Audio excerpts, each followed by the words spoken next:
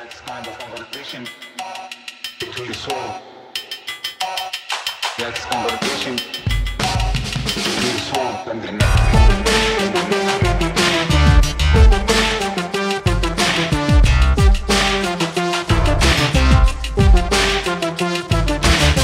Hello, Prestige Heads, and welcome to American Prestige. I'm Danny Bessner, here as always with my friend and comrade Derek Davison. And we're very excited to welcome to the podcast Penny Von Eschen. Penny is a professor of history and the William R. Kennan Jr. Professor in American Studies at the University of Virginia in the Department of History, and the author of Paradoxes of Nostalgia Cold War Triumphalism and Global Disorder since 1989. Penny, thank you so much for joining us. Thank you so much for having me. I'm delighted to be here. So here's just with the first question: What inspired you to write this book? You're a historian; you focus most on your work, not on the on the more recent past. But what about the world today uh, inspired you to write about nostalgia in the Cold War? Yeah, thanks for that question. So the idea of the book started to congeal in the early 2000s as the US was at war with Afghanistan and then went into Iraq. And at the moment, I was finishing an earlier book, Satchmo Blows Up the World. And I remember um, in 2003 finishing that and writing about Duke Ellington in Baghdad at a moment when the US had actually intervened and helped to overthrow a government and then they couldn't control it so they didn't quite get their way. And just the kind of the utter tragedy of this repetition the lack of knowledge of the history but just overwhelmingly in in that moment of war i was just profoundly disturbed by i mean i was an historian i'd done two books on the cold war intersecting with anti-colonial with colonialism and anti-colonialism i was so disturbed at the obvious distortions of history both the distortions that were used as a justification for weapons of mass destruction and going into iraq but a very systematic distortion of the US past in this entire region and, and globally. And along with those distortions, I kept hearing um, a weird mix of what I see as triumphalism and nostalgia. Um, oh, I miss the Cold War. It, it was so much safer and so much stable. We knew who our enemies were, which is profoundly obscene as millions and millions of people died in conflicts in Latin America, in Africa, in, in Southeast Asia, through, throughout Asia. And um, along with this kind of distorted triumphalism, I was also, um, well, this distorted nostalgia. I was also hearing a triumph, you know, this as a justification for newly going to war. I was hearing a triumphalism. You know, we won the Cold War because of our military strength, because we didn't hold back, because we were, you know, willing to pull out our military might. Therefore, we must do this again.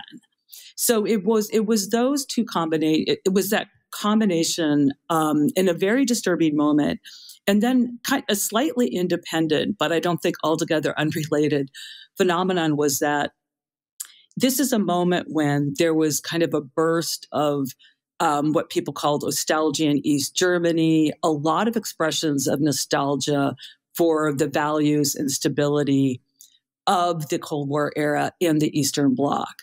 And the American or the US commentary was constantly just saying, oh, the, the, those people are out of their minds. How could they possibly miss that horrible, horrible era? What there's nothing to miss about it. So there was a disdain for Eastern Bloc expressions of nostalgia. And I talk about that nostalgia. It wasn't nostalgia for authoritarian regimes, but it was almost nostalgia for political hope, nostalgia for the reform movements, for nostalgia for a time when not everything was defined by the market and about money. So you're getting this US disdain for Eastern Bloc forms of nostalgia while seemingly completely missing the fact that Americans were awash in their own nostalgia. So I thought, this is all very weird and i just this really needs to be investigated and of course this is a moment with a lot of calls to global history so what would it really mean to really push in many different ways on kind of US from the outside in the American impact, like what does it look like when American triumphalism travels into former Soviet spaces? So let's, you know, find I call it globally framed. It's not about the whole world or everything, but let's really look at these critical sites where this kind of triumphalism, intervention, and nostalgias are operating and really what is that about? How did that happen? Let's investigate that. So obviously nostalgia is a key conceptual category. How do you use nostalgia and, and what do you mean by it? What is the uh, affective dimension of it? Well, I think there's a lot of different ways that nostalgia operates, and I'll quickly get to some of the dominant affective dimensions. But I, I think it is important, and I do I make a distinction between I think two over two very important senses and maybe two dominant senses of nostalgia. And one is what I think can be a critical nostalgia. And I see this as perhaps a more, you know, affective form. Well, they're all affective, but the critical nostalgia, which I think came both um, there's expressions in both the west and the east but the critical nostalgia could be um, a, a, real look at um, the world changed very quickly um, kind of went, went wrong and you see this in expressions of you, you might see in the Eastern Bloc, for example, but also in the West. You know, I I used to have a job. I used to have health care. Um, and people often use the language life was more continuous. Not everything was about money. Um, we didn't have a lot. We were, you know, we didn't like the state, but our my relationships were richer. Intimacy was just a lot more, you know, our, you know, just much richer. So, so there's a way to say what changed? And that's a good historical question. That leads to critical inquiry. What changed? What went wrong? And let's look at what had been lost that was of value. And I think you could really see a critical nostalgia also in going back to the period of change. So the the uh, what I think like of the some of the very important reformers of that period, and this is not all of them, but Václav Havel, Mikhail Gorbachev, Nelson Mandela, um, sort of the anti-apartheid movement all of these movements had critiques of authoritarian um, government in both its uh, communist bloc forms as well as its uh, capitalist imperialist forms. And they all wanted, the, they all said, there's something's gone very wrong in this Cold War period. There's been horrible military destruction. There's been horrible environmental waste. And this is both militarism and a race to consumption. So we really need to say, um, you know, we we must examine that and we must not repeat that. So it's not a nostalgia that everything was great, but part of the critical nostalgia was a nostalgia for those very serious critical reform movements. And again, I, I say nostalgia is always dangerous because even a critical nostalgia can morph into something which reifies an invented and simplified past. And part of what I do is trace various moments when critical nostalgias morph into a nostalgia that claims, like the form in the United States, you know, that there was a, you know, we were absolutely right. We had all the answers. This was, you know, glorifies a past, overlooks all of its flaws.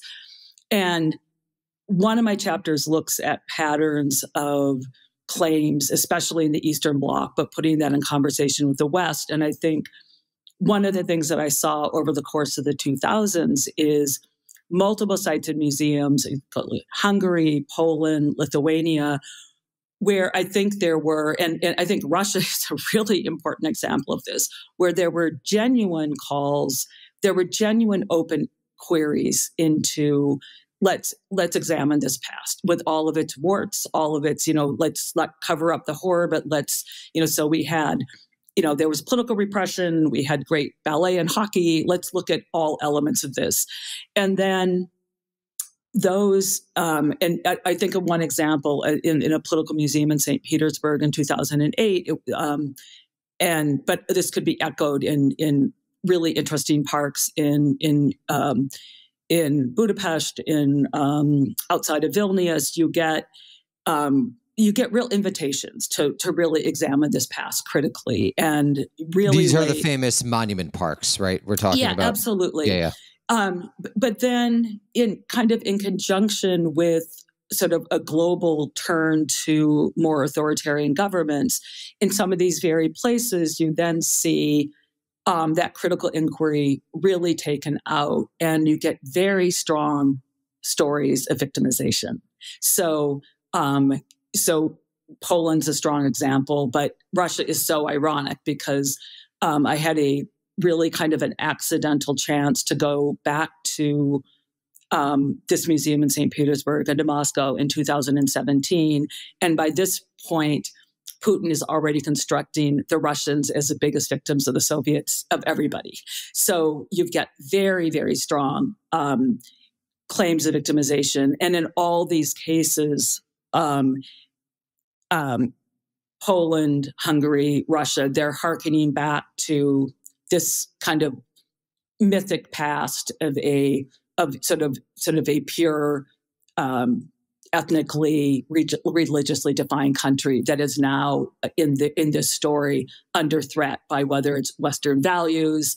And i think a lot of the conditions for that turn came from the enormous destabilization um, that comes from the us wars in the middle east and then Iraq spilling into Syria, spilling into genuine refugee crises, which right wing politicians took up as um, extremely xenophobic um, claims against outsiders and really, you know, helped their claims for, um, again, this very pure mythic past.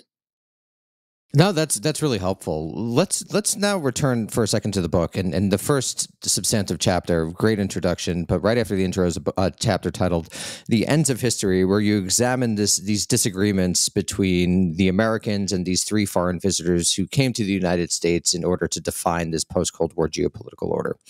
Could you first talk about the end of history as a concept and why you uh, titled your chapter the ends of history and how these three figures and their you know the various debates at least implicitly with uh, george h.w bush informed the post-cold war you know set the stage as it were for the post-cold war world. Yeah thank you for that. Um, so just to start in a really simple way I, I, I kind of play with the ends of history because um, i think uh, unlike maybe some more casual observers of George H.W. Bush, I actually see Bush as an incredibly calculated, if not sort of masterful craftsperson of the uses and abuses of history, keenly aware of the purposes to which history is put as he moves through various political stages. So it's very much about sort of the uses of history.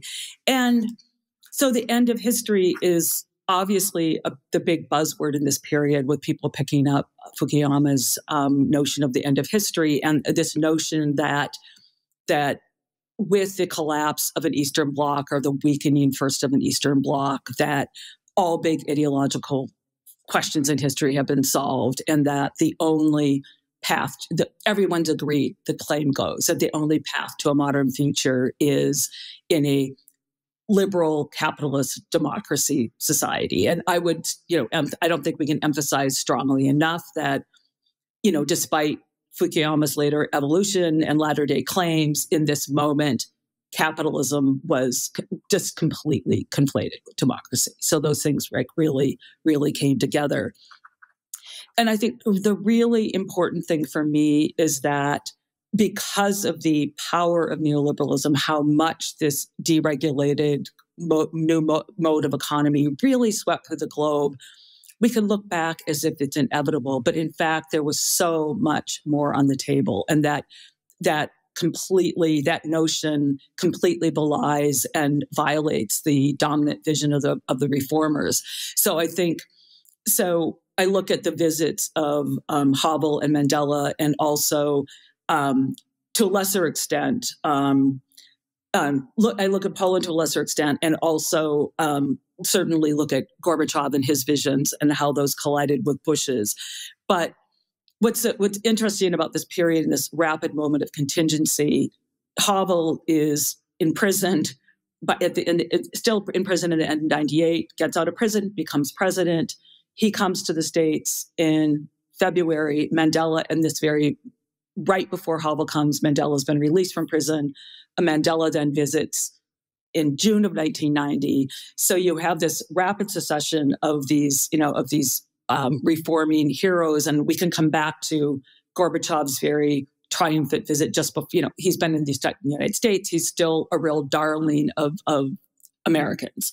And um, so, and the, the vision is that's projected by Gorbachev and Havel and Mandela, and I'll talk more about Havel and Mandela here, is very strongly that of a radical need for demilitarization, that the military excess and buildup of the Cold War has caused great destruction, enormous environmental damage, uh, great economic inequality, and that there's also a real critique of consumption. You know that that we have to rethink the good life. This race consumption has produced mounds of garbage. It's destroyed the environment. So environmentalism goes hand in hand with this new, um, with an emphasis on demilitarization. And there's also both, especially Mandela, but also Havel are putting a redistributive agenda on the table, and especially Mandela. So yes, they they they want in the words of like Havel and the Eastern reformers, they want socialism with a human face. They do not want unregulated, untrammeled capitalism. Um, they're not jumping onto the capitalist ba- bandwagon. And they recognize the problems in central planning. They absolutely want, um, you know, they they absolutely want of sort of mixed market reforms in the places where appropriate, but those market reforms were never intended to go into basic human rights, healthcare, education, um, and um, so this was, you know, this was all supposed to be preserved and and and strengthened. So so Havel um, Havel's visit is very um, is just very interesting because Havel is saying that these Cold War institutions are irrelevant we, we need to abolish the Warsaw Pact, abolish NATO. And this sends, this infuriates Bush. It sends all sorts of Americans into kind of an enormous state of alarm. And so there's a whole little kind of like dances, you know, kind of little, you know, kind of dances around that where, um, but it makes very, very clear how much um, how much this demilitarization is on the table. When Mandela then visits, there's some real deep confrontations with Bush over, um, you know, both over, um, well, the, the big issues are that Mandela is refuse you know refuses to denounce um, the military arm of the ANC and denounce any use of political violence. And so Bush is really trying to dictate the terms. So like you absolutely must must denounce political any form of, of, of violence. And Mandela says, look, if this if we had any political rights, if we had any political civil rights, of course we would never ever ever use violence but we absolutely have no political civil rights. So we we absolutely have a right to to self-defense. The, and the other big issue is um, um sorry and then the other issue is mandela and the anc's insistence on economic justice and redistribution. And this also greatly alarms bush and, and many other people. And um, it's it, there you know there's um, like Thatcher in Britain, for example, is also you know the her advisors are telling Mandela, do not use the word nationalization in front of Thatcher. You can't speak in these terms. And over time, um, Mandela and the ANC um, I think, you know, maybe tragically become convinced that if they don't give up certain demands for nationalization in, in some areas and redistribution, they will not get any investment. And um, so, but this this continues to be a very, very important um, bone of contention between Mandela and Bush. And the and then another issue, which is is very wrapped up in this, is it's wrapped up in demilitarization, is that it, it's really about the United Nations and the role of sort of a non aligned third world bloc in the United Nations. And Bush, along with a lot of other Americans, are appalled that Mandela will not denounce Castro, Yasser Arafat. And Mandela says, look, these are these people were our allies. They supported us in this horrible period of apartheid when, you know, when nobody else did. And I'm not gonna, you know, we're not gonna denounce them. But I think this is really important because after Iraq and Saddam Hussein invade Kuwait, and as Bush is pushing globally for a military alliance that will back the United States in going to war in Iraq rather than getting a negotiated settlement or a time settlement.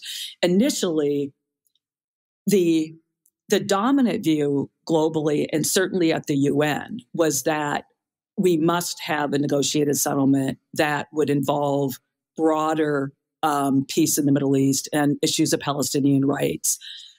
Saddam Hussein was happy happy to talk about a time a timeline for settlement and withdrawal, but for various reasons, Bush Bush did not, you know, Bush would not did not would not have this, and and I think um, he really saw this as a moment when the U.S. could declare its unilateral power over both this broader third world bloc and Gorbachev, who supported negotiated settlements, um, as well as I think you know Bush had a very strong antipathy toward uh, this third world bloc in the United Nations and really kind of wanted to assert U.S. dominance and put that to rest.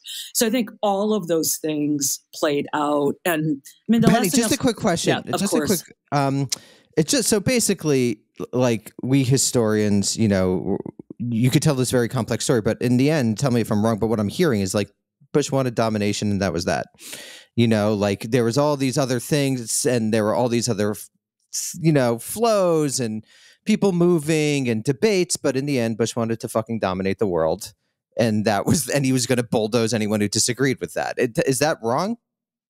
Well, in in a sense, I think in a sense, I think it's not wrong. I mean, because um, Bush Bush wanted and um, you know, Bush told his advisors, you know, there are no longer two superpowers in the world. There's only one. You know, Yeah, we're know, going to dominate it, and you know, this is the are- dream, we're and, and who cares what Mandela says? Well, absolutely, and I think, and he was going to kind of d- dominate anyone who's not in line. Now, I'll, and it's not really a caution against that. I just Bush really moved through what I see as a very clever carrot and stick diplomacy. So he's like he's going to Havel and saying, you know, I know, like I think Bush is probably thinking something like, I know human rights are really important to Havel, so I'm but here I'm going to emphasize the abuses of human rights by Iraq. Here i'm going to threaten somebody with you know impoverishment or you know or you know or intervention if they don't kind of go along with me. But i think he i think he was very very aggressive in kind of getting his way in the vision as a us as a unipolar power. And i also this is obviously deeply tied up with oil so going into iraq being able to in his mind maintain access to oil and you know, from his per- perspective, they were not about to abandon this. You know, the U.S. is so ensconced in a deep carbon, oil, military, industrial complex, and of course, the mili- You know, the military, in some sense, they cut back in some ways. It got. You know, you could talk about it as meaner and leaner, but they did not demilitarize in any. I, I think you know, really in any in any deep, meaningful sense. Well, that's all because of the mil- revolution in military affairs, too, right? It's Right, coincident. So they're Right. like they they think we'll do the same exact thing for slightly cheaper. Turns out they'll have that and they'll just balloon the budget. Because uh, I basically because to me, like I know, like after the postmodern turn, we're we're all skeptical of master narratives, but it, again, it just seems like you could fit this pretty easily into the master narrative of since 1941, the U.S. wanted to dominate the world, and it basically every choice except for maybe a few years in the 1970s at every decision point they just made the decision to expand the domination and i guess that's kind of what i'm getting at you know trying to look at this holistically from 2023 Yeah, I mean, I think, I mean, I think both following following Reagan and and, um, but I think George H. W. Bush again, a background in the CIA, a background in oil. I think Bush was absolutely resolute that the United States had the right and should be the only person setting the terms of the globe, and that anybody who really disagreed had to be gotten out of the way, whether that was turning on former clients in Panama or Saddam Hussein, who'd been an ally for so long, but just absolutely resolute. And I think now, when I say, you know, I, I do think it's important to emphasize uh, divisions within the US government. And so I do I try to pay for attention. sure, for sure. Yeah, the state isn't holistic. Yeah, totally. Yeah, absolutely. So this is um, so this is a very strong view that is um, you know very intolerant of. Um, it, it is basically intolerant of the UN too, because it does it's in- intolerant of global institutions. Because the United States, you know, they these global institutions should not be dictating to the United States in the view of somebody like George H. W. Bush. And the way you see this very concretely is even in the 80s which is such an interesting contested politics when there's you know when when reagan is going you know greatly expanding the military going into central america south africa just really ratcheting up militarism in so many different places um, afghanistan i mean we could just go on um, but it's um, you know you've got you've got very strong critics in congress. This is very hotly debated but and because congress um, so but one thing that happens under under Reagan is basically the US stops paying their dues to the UN. So there's all sorts of ways to undermine these organizations. And then And we leave UNESCO every what, 7 to 10 years. It's like the thing that US presidents love doing. No, absolutely. So I, and I say like even though like it it was very outrageous at Trump to leave the World Health Organization and the Paris climate agreements, but there's a real precedent. There's a real precedent to that. And in fact, you know, in the in the 90s, um, when you know, again, there's a tug of war between more global, you know, more globally cooperative and international forces. But once again, after um, after Newt Gingrich and contract for America, once the Republicans took Congress, they were once again not paying UN dues, and they were overtly undermining diplomatic agreements that other you know, parts of the U.S. government were really working on not going to war with Korea. A, this agreed frame under the Clinton framework, but that was getting subtly undermined by people simply refusing to pay if Congress controls the purse the purse strings. So I think that's a very important part of the story. And it also shows that there are alternatives, just like there was a real alternate vision on the table at the end of the Cold War that involved demilitarization, addressing climate, um, um, environmental disaster. That that was on the table then, and there were, you know, there were disagreements and tussles, but but yes, there was a very very strong vision of you know that the U.S. is the only power and and the world's going to be kind of set under its under its you know dictating to its um yeah its directives American Prestige is brought to you in partnership with The Nation magazine. Please consider becoming a subscriber at AmericanPrestigePod.com forward slash subscribe. As a subscriber, you'll get access to dozens of exclusive bonus episodes, including breaking news specials, deep dives into regional histories, analysis of movies and video games, and much more. And if you subscribe at the founders level, you'll be able to claim a year digital subscription to the nation. Thank you for listening, and now back to the show. Penny, let's get into to chapter two, which really talks about the '90s, and uh, I love this because the '90s were like my formative political years, and it's Derek's such an a interesting 90s time. You're it's nice. the, I mean, this is the unipolar moment. It's the time when Washington decides that uh, instead of dismantling this military machine we've built over the Cold War, what if we used it for good things? What if we did nice stuff with it? Uh, and so you talk about Somalia, you talk about the the decision not to intervene in Rwanda, you talk about Yugoslavia and the breakup of Yugoslavia, uh, but it's also the era of the the clash of civilizations rhetoric, which is you know sort of Samuel Huntington's response to Fukuyama, the idea that we're not fighting over ideology anymore, okay, but we're going to go back to an earlier time, sort of fighting over these kind of fundamental civilizational values, cultural, religious, etc.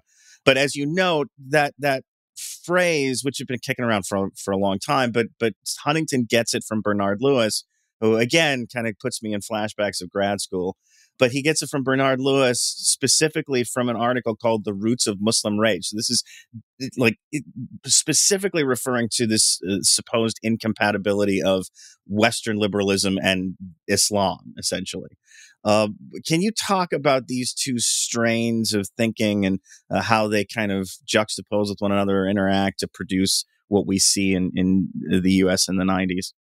Absolutely. And by two strains, you mean kind of end of ideology and the clash of civilizations. Right. And, and then sort of this this impulse to do humanitarian intervention, which I always think is such a weird concept, but uh, was was really dominant in this period. Yeah, absolutely. Um, so let me start with the clash of civilizations. Um, so yeah, you're right. It, it's it. I mean, it's. I mean, this is a reinvention of very old civilization ideas, but it's just remarkable how fast that's kind of pulled out when when U.S.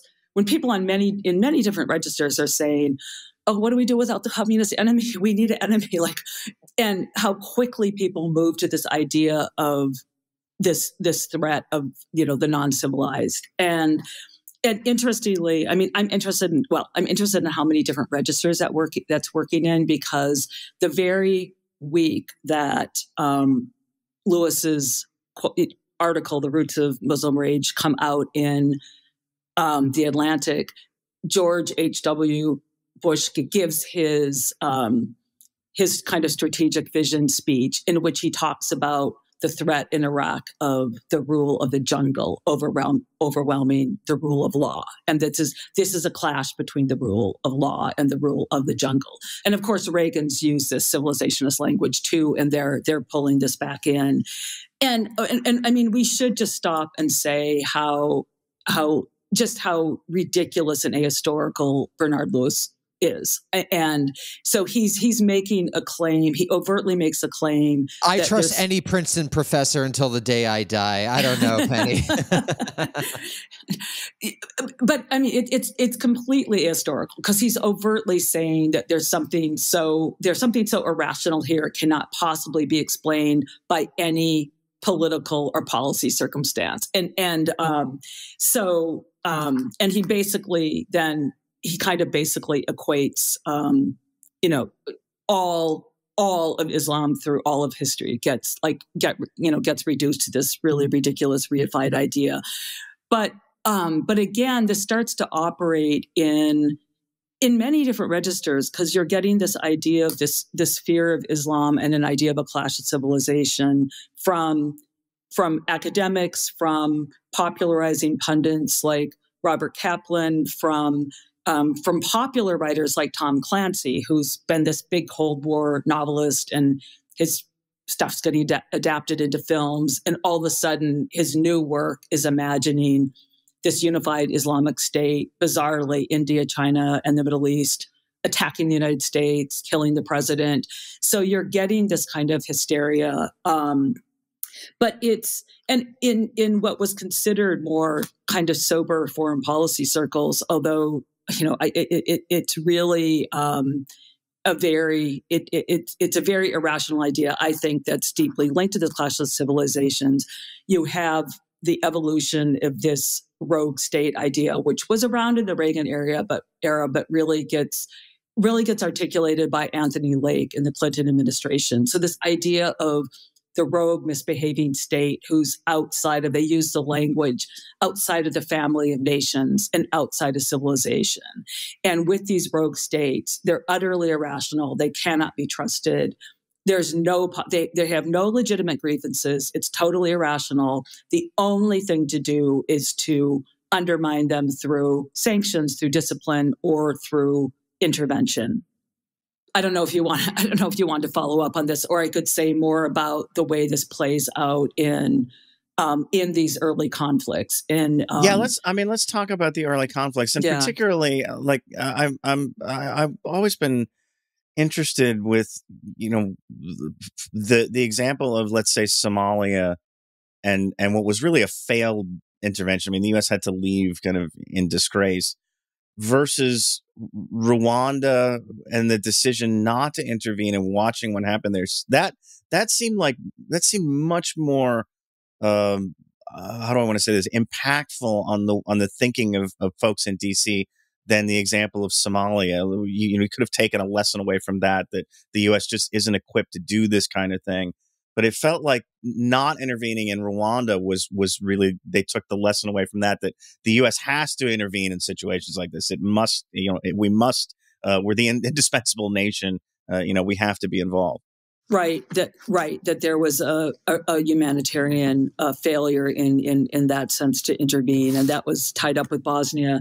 And so, just just to really, you know, quickly note what critics at the time noted um, about Somalia is that, like, so why did the U.S. intervene? And you know, obviously, um, this is a more it's it's a more complex story of a former Soviet clientele state that then kind of turns to the U.S. But but the, the U.S. had invested. There was a lot of oil investment in Somalia. So what what what the really good investigative journalists and critics at the moment would have pointed this out, and I think that's absolutely true. But let's. Um, but in the case of Rwanda and some um, and and and Bosnia, and in this case, um, I think one of the things I think we should emphasize about, you know, I, I, I, felt like it was very important to look at these broad patterns because I was seeing the same the same logic in the justifications for intervention and not inter, you know intervening or not intervening. So I thought that was really important, but it's also um, very very I was very dependent, you know, rightly so, and I think as people do globally framed histories in just kind of uh, enmeshing myself in literatures of people that have written deeply on Rwanda and Bosnia. So, in the case of Rwanda, um, Mahmood Mamdani, along with others, I think has been really important. And I think um, th- so. There's two aspects to this argument, and I think th- the first is um, I think there's just massive evidence that for first and these conflicts like move across the Bush and Clinton administration, but we could focus on Clinton. For, you know, in the administration, partly having read Robert Kaplan and listening to other advisors, Clinton and many other people became sadly convinced that, again, it's a clash of civilizations idea that, you know, these people have been fighting with each other for for thousands of years. These are ancient hatreds. These are irrational.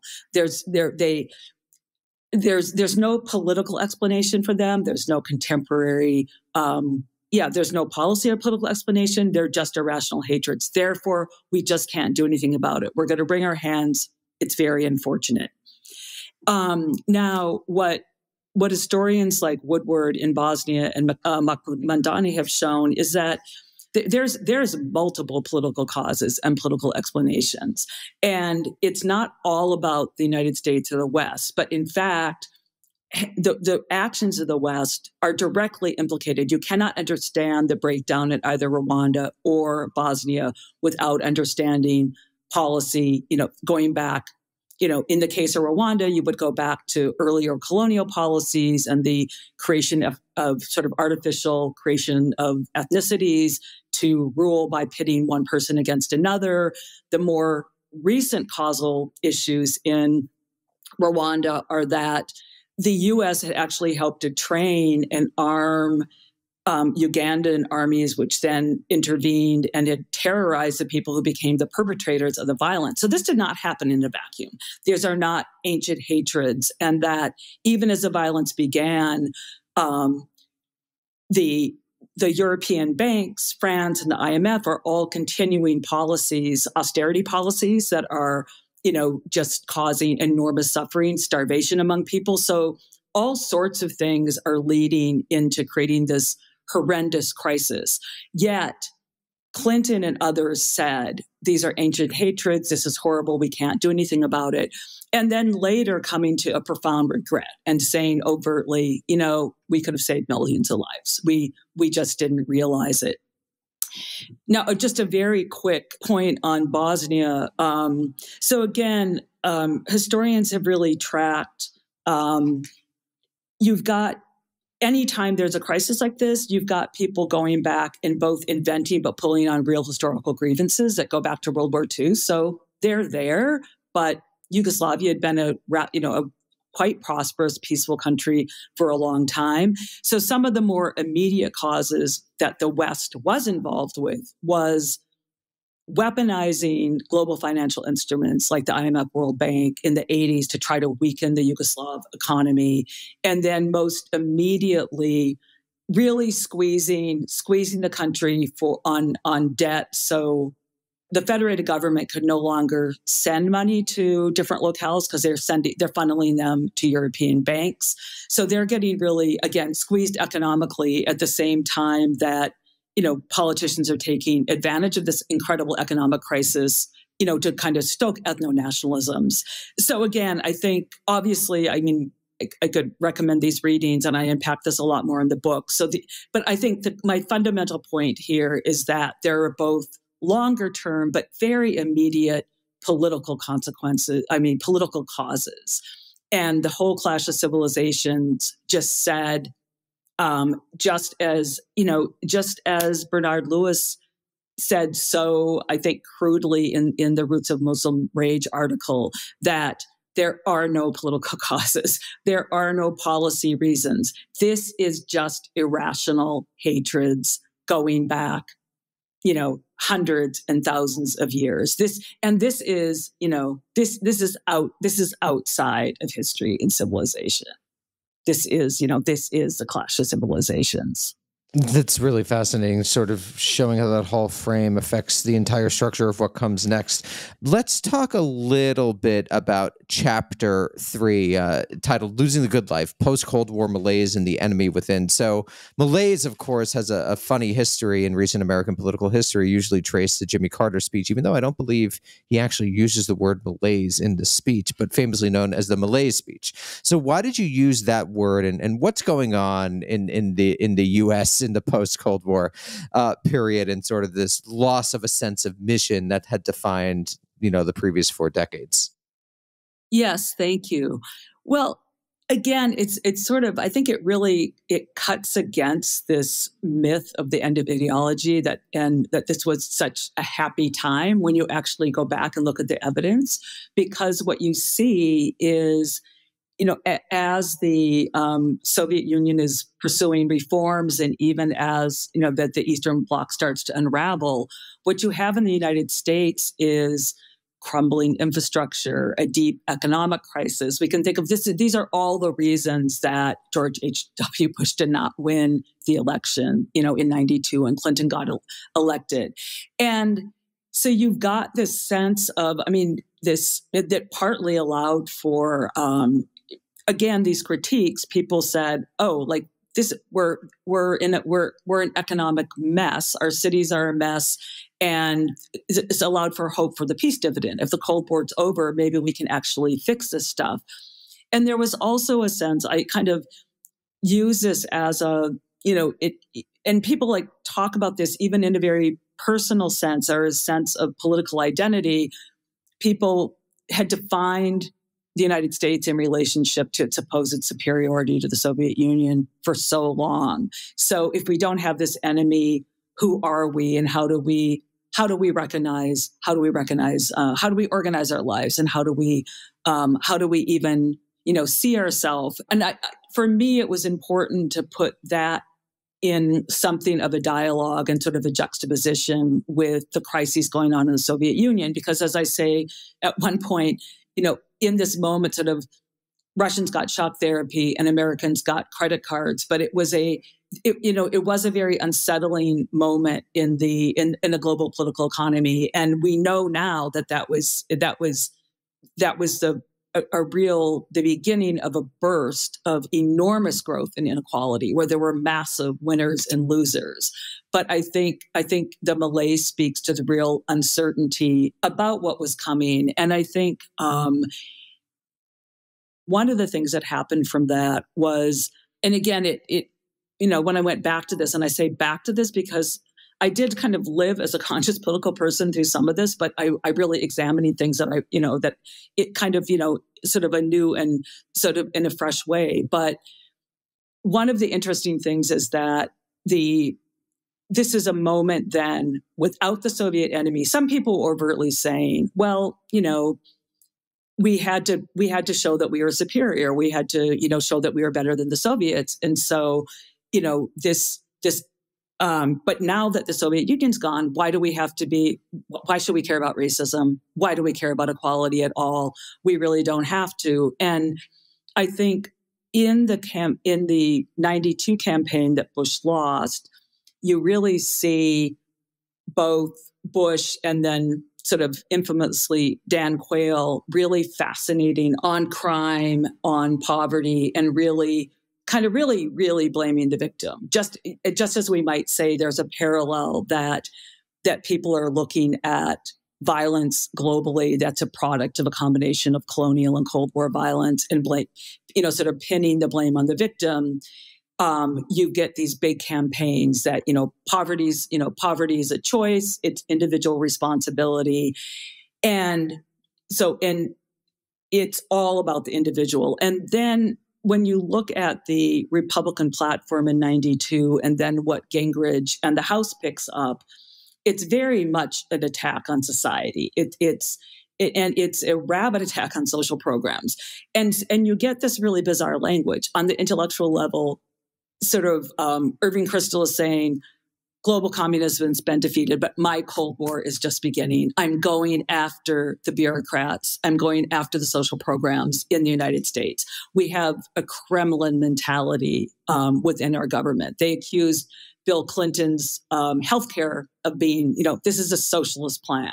You know, so you're getting after the collapse of the Soviet Union, you're getting getting this weird hysteria about socialism. And that may all seem like, okay, they didn't win. That's all well and good. But you get those programs carried out once the Republicans are in Congress and their absolute, you know, um, determination to dismantle all New Deal programs and all social programs. Um, and so that is, I think, all of this sense that um, so the Republicans, again, this is a deep paradox. There, we won the Cold War, we were right, and there is something so, so terribly wrong with America. And it is the fault of the Democrats and healthcare and welfare programs. So that kind of that kind of ugliness really, you know, creeps in very, very early on so without an external enemy, we really, really turn in on ourselves, especially Black people, poor people.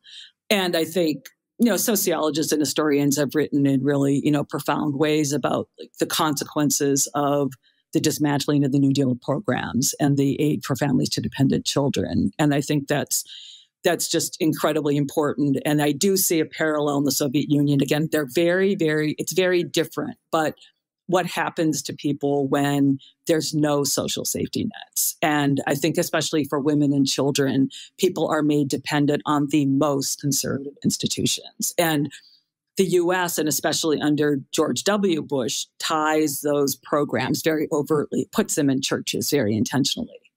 But if you don't have daycare, if you don't have health care, where is your kid going to be dropped off?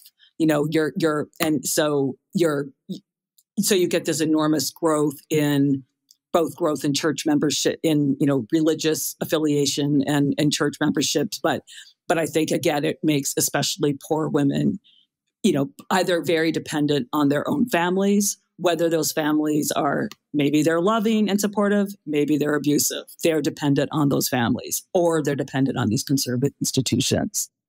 Where does that hatred of american society come from why do these people hate American society so much? Is it just ideology? Is it that simple?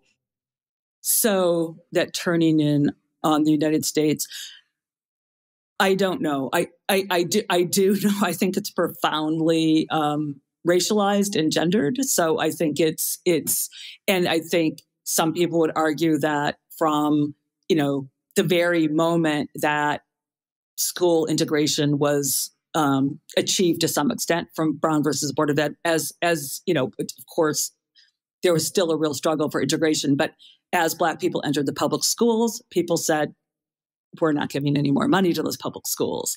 So I think it's it's profoundly connected to racism. It's profoundly connected to sort of misogyny that's directly you know directed against um, sort of a, a the idea that feminism or women women's movement have you know ruined you know a certain kind of society but i think i think that gets really reshuffled and reconfigured you know it, it really does get reshuffled and reconfigured in the aftermath you know of the cold war you see these very overt you know, really overt attacks. And, um, and again, it, it, it's hard to draw a clear causal line, but by at the you know at the January 6th insurrection and everything surrounding it and what happened during the pandemic, it just astounds me how a whole block of people like who are their targets? They're going after public school teachers.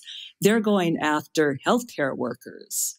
So this notion of like the Kremlin being an authoritarianism and control being hidden in these, I think, these very, very precious institutions. You know, society is what holds us together as human beings.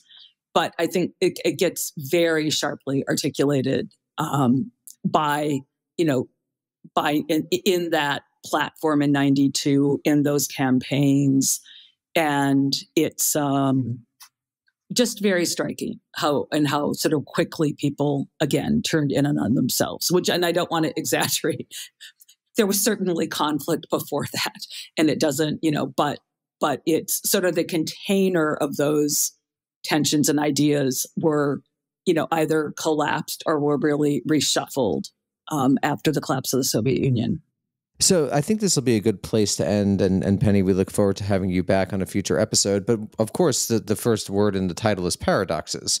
So I, I wanted to ask you to talk a little bit about this anti government feeling that takes off in the 90s while there's this remilitarization, because there was contestation. You know, someone like Pat Buchanan, so called paleo conservatism, you know, someone like Murray Rothbard, paleo libertarianism, were genuinely arguing against having this empire of bases. Um, right. So, right. Uh, could how do you talk about that that contradiction between this anti-government feeling on the one hand, but then this pro-government, i.e., pro-military feeling on the other? Do you have any thoughts about that? Well, I think it's always. I mean, it's always been a kind of a deep contradiction, and I think, um, and I now I'm just kind of thinking out loud because when I think about that in the 90s, that that's the most striking thing about Reagan's ideology, right? Because Reagan is the, you know, the per- first person who says we are dismantling, you know, the New Deal, get get the monkey of government off people's back when the military increased exponentially. So he so he under Reagan the state grew at just an exorbitant rate even. So I think that really that really deeply hits that kind of contradiction and I think on a more um, and again that's radically different than somebody like eisenhower who at least recognized that you know this is a problem for democracy. We've created a military industrial complex and we got to really look at the consequences of this. So he uh, says uh, after he creates said complex. Oh absolutely uh, you know absolutely but but it's it's very different right ideologically or rhetorically to you know than than what reagan's doing. And i think that there is um again, again, a part of this paradox is, and I think, you know, some people called this, you know, paranoid empire is this very, again, contradictory sense that we're both the, you know, only legitimate power, the most powerful power, but that we are always at risk of victimization or being invaded. So, and in this era, then you get this, you know, the, uh, the idea that uh, of Clash of Civilizations. So this tension between again claiming to be the most powerful, but always claiming to be a great threat. George W. Bush's campaign, he was really talking in those terms in such interesting ways because he was saying, you know, and I, I'm I'm to maybe paraphrase the Bushisms, like like when I was coming up, we knew we had enemies, but we knew who they were, we knew where they were, and now we don't know, you know, and, and, he says it was us and them, and this is a nostalgia. It's like we really, it was really clear that was really good.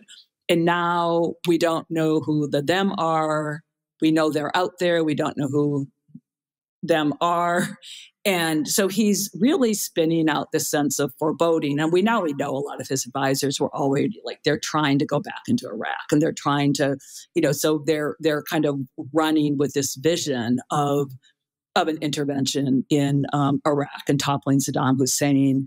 And that that's a plan long before 9 11. But I think that that gets that, and he has the sort of same sense that got articulated by Reagan and then George H.W. Like we won through military might. I will George H.W. says, I will never let this country be weak again. We, we are, we're the strongest. We're going to stay strong through the military, but we're, we're really, you know, the jungle is encroaching. We're under threat. And, you know, and some, I mean, some historians would locate that in a very long history of just settler colonialism, wars against indigenous Americans, and sort of moments of an idea of a sort of white civilization against a threat that goes far back. In this book, I'm I'm I'm much more interested in the immediate contingencies and the, um, but I, I, I do think we need to take you know very seriously how and why does a civilizationist idea and language come up so quickly like once again not that it's ever been banished but it's certainly not dominant in either public discourse or in the popular culture um, of the 80s and 90s. So um, it's just remarkable. And I think it's um, so I was just really interested in investigating how that came up again in how that comes up in in multiple registers across political speech, popular culture, and um, so many so many different um, so many different areas. Penny Von Eschen, thank you so much for joining us. Everyone, check out Paradoxes of Nostalgia. Uh, Penny, I don't know if you remember, but I saw you give an early talk on it at Cornell in like 2014. It was so cool then, and just to see the execution now, it's really a fantastic book that I think would be uh, useful to anyone interested in the last 30 years of history and explaining what it feels like to live today. Please check it out, uh, and we look forward to having you back again soon. Thank you so much. Thanks so much for your time.